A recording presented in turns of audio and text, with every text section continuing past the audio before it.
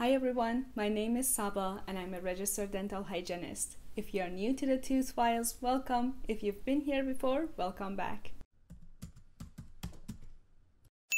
Today, we are going to decode another 10 dental terminologies that you may hear during your dental appointment. Xerostomia. This is another word for dry mouth. I've made a whole video about xerostomia and how you can treat it. But for now, real quick, the three most common causes of dry mouth are dehydration, salivary gland malfunction, and some medications. Plaque. This is the soft, sticky, and sometimes yellowish buildup on your teeth. You can remove the plaque on your own with proper brushing and flossing. Calculus. Calculus or tartar is hardened plaque. If you don't clean the plaque on your teeth regularly, it will start to mineralize. This can start as early as 24 to 72 hours. And at that point, you won't be able to remove it with just brushing and flossing. For that, you will need to visit your dental hygienist and they will remove the calculus with special instruments. Supragingival. Supra means above and gingiva is another word for gums.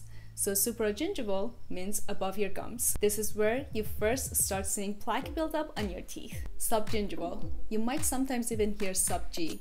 This means below your gums. Occlusion. This means your bite. So when we are checking for occlusion, part of what we are looking at is how your upper teeth and lower teeth come together. Deciduous teeth. This is another way of saying primary teeth or baby teeth. The first baby teeth to erupt are usually the bottom front teeth, and they come out at about 6 to 10 months. The last primary teeth to erupt are usually the very back teeth or second molars, and they come in at about 25 to 33 months. Gingivitis. Remember we said gingiva means gums?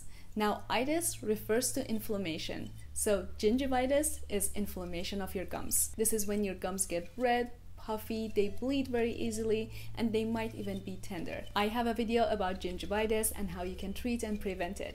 You can either click here to watch it, or I will leave a link for it in the bottom bar below so you can watch it later. Periodontitis. This is the advanced form of gum disease, and it means the structures holding your teeth, like your jawbones, are infected. Scaling and root planing, or SRP. SRP is a word we use for deep cleanings. If you have active periodontitis, your dental care provider may recommend deep cleaning or SRP. I hope this video was helpful for you. If you enjoyed the content, please consider liking and subscribing, and I will see you in the next one. Bye!